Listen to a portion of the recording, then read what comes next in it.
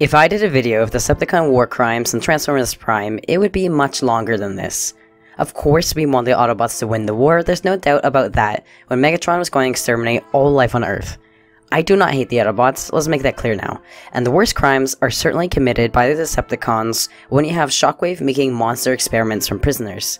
However, it is fun to analyze the Autobots' hypocrisy because they would so readily tell you that they are good and honorable people while the Decepticons are not. Cybertronians may not have war crimes defined the same way as we do on Earth, but they are intelligent and thinking beings who talk about right and wrong so they can sort out things like torture is bad and so is killing prisoners or other defenseless beings. Autobots look to Optimus as their moral leader and they try to follow his example, but do they fail? Oh yes, even Optimus is not innocent of endorsing a few war crimes.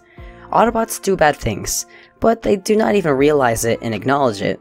The point of this video is to identify those times, and it may help you gain new insight on what we call heroic in media and if it deserves to be called heroic. Here's a basic run through of some war crimes, some immoral no-nos for anyone to do regardless of their side killing or hurting defenseless or surrendering combatants, attacking non-combatants or civilians, torturing, taking hostages, and using poison.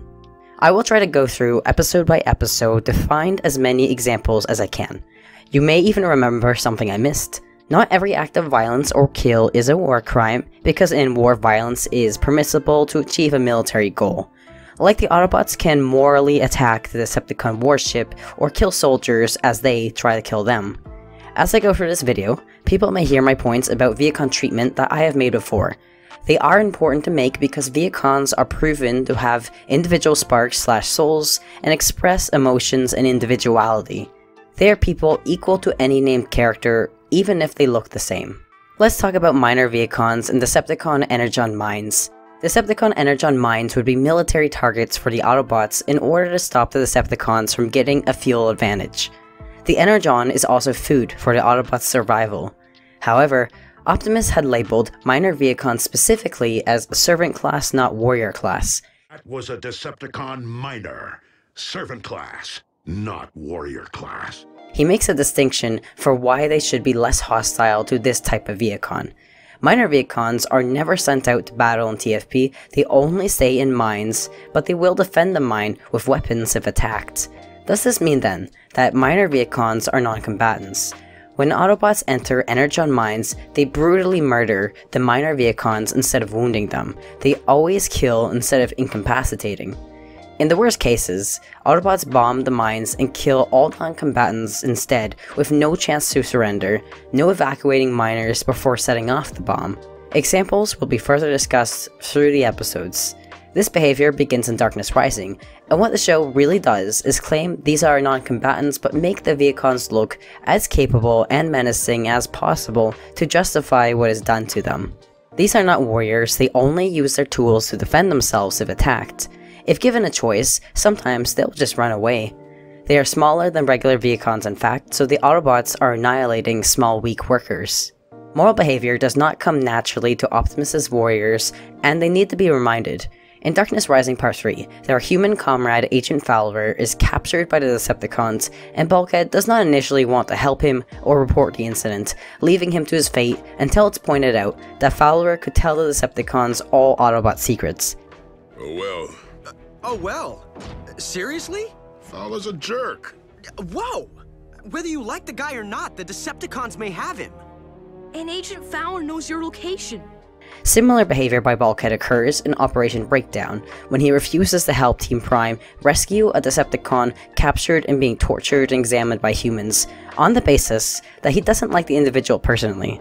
Bulkhead is only swayed to save Breakdown later by the idea he will get a rematch fight he will win this time. We will rescue Breakdown. What? Optimus, you can't be serious. Mech can melt him down for all I care. Let the cons rescue their own. Bulkhead, Optimus, I'm sorry. I just can't do it. I support your choice. What? What? what?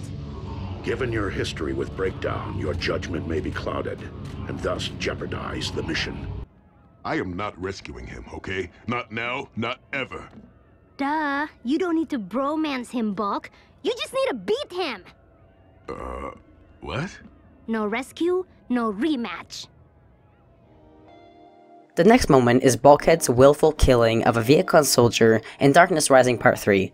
In a long battle with Vehicon, Bulkhead decides he will rip out his intestines. He plans to do it, and warns Miko to look away, but if Bulkhead was able to tear out his guts, he could have equally punched the Vehicon's stomach until he collapsed alive and too hurt to continue to fight. One may argue the necessity for death instead of knocking out to keep a Viacon quiet. However, Bulkhead inexcusably murders fake Starscream in Armada. He then beats fake Starscream to death despite his helpless gestures and never reports what he has done to his own faction. Instead of recognizing his horrible act, Bulkhead verbally justifies to himself that Starscream deserved his death.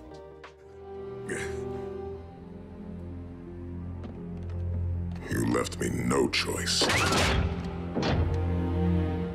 This may be considered an act of execution outside of a court carried out by an individual, which is a war crime. In Masters and Students, as savage as it was for Bumblebee to rip out Skyquake's guts, Skyquake had initiated the attack and was trying to kill them. Bumblebee was given less options to stop such a large and powerful foe, so I could pass him for going for the kill. What are your thoughts? In Con Job, brutal fighting tactics are shown by Wheeljack before he is exchanged with Makeshift. Imagine cutting off the arm of a human, and then smacking another human with it. Team Prime encourages Makeshift's behavior, and to shoot a wounded Decepticon soldier in an amused manner. You missed one. One part of this episode is debatable, but if the Autobots did it, it really is immoral. Did the Autobots set off Makeshift's grenade, or was it accidentally set off? I think it was intentional, because if the grenades were so easy to set off, Wheeljack would have already exploded himself, being thrown around as much as he is and getting into crashes. And the Autobots are a small team against a greater Decepticon army.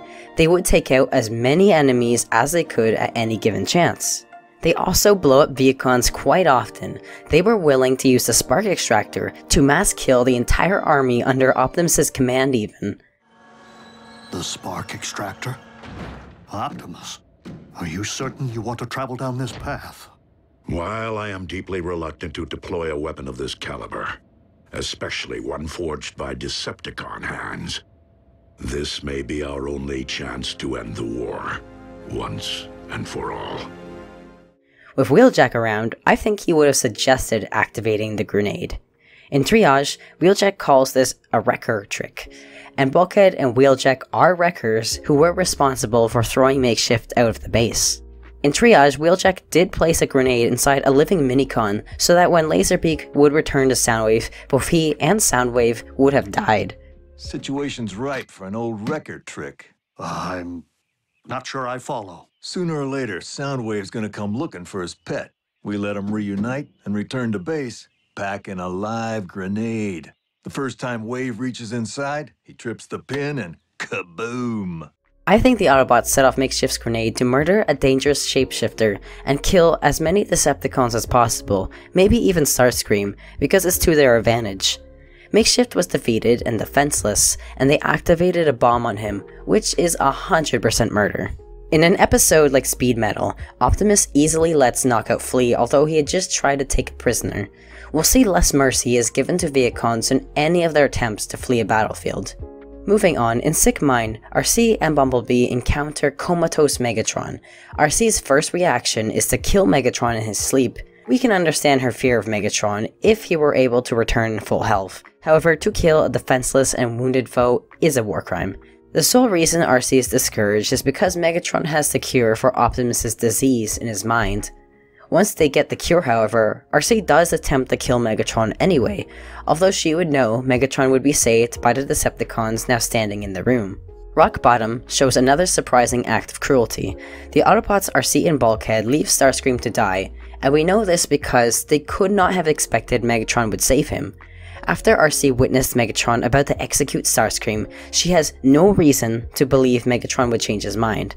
Bulkhead and Arcee leave Starscream to lift up a too heavy collapsing ceiling that will be sure to crush him. The Autobots did this to get Bulkhead out of a life-threatening situation, but then they walk away without offering assistance to Starscream. They believe he deserved such a fate, for he would have done the same to Bulkhead. However, the Autobots claim to be better than the Decepticons, so surely they cannot just copy their behavior. They could have come up with any plan to save Starscream, and in fact, it would have also been a great opportunity to capture him and get Decepticon secrets. At the end of Rock Bottom, both Autobots long to just kill the helpless Decepticons right then. Wrecker style, of course Bulkhead wishes they had grenades. Jack the Human asks them if that's what Optimus would do, and Arcee agrees no. We could finish him, here and now. Shame you didn't bring any grenades. Would Optimus finish them? No, he probably wouldn't. Not like this. Everyone decides no one should rescue them either, but still, they have knowingly left Starscream to die. They could assume Megatron would live, but not Starscream. We can understand Arcee's rage for Starscream and Partners. She looks at this prisoner and learns the shocking news that he has killed her friend.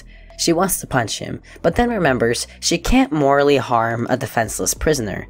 But she wants to murder him in a way that will not get her in trouble. She forces Starscream at gunpoint to take off his cuffs so they can fight, because a fight to the death to her is seen as noble murder. She is trying to force the prisoner to let himself be killed, which is pretty messed up. Starscream flips the table by pretending to be helpless to get Arcee to come close and to wound her. Arcee ruins all chance of cooperation with Starscream, and when he wouldn't have tried to kill her before, now he tries out of spite. Arcee summons the strength and speed to win the fight, and is about to get what she wants, killing Starscream. However, Bumblebee appears as a witness and is disappointed Log halts her.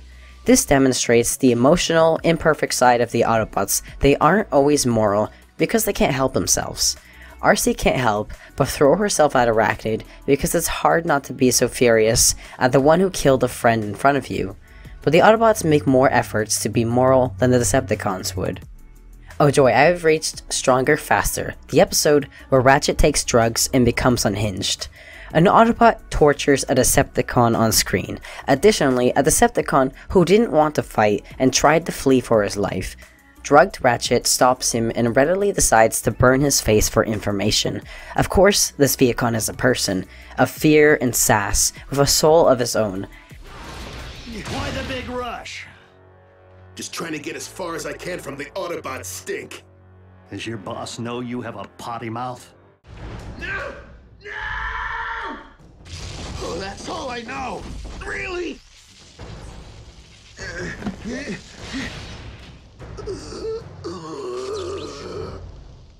However, when Optimus stops Ratchet, he only shows minimal anger.